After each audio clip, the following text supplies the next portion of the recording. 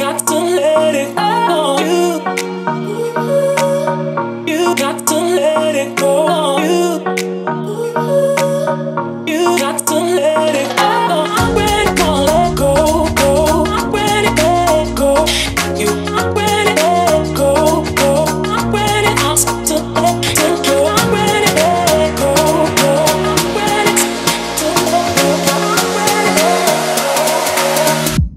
I to let it go.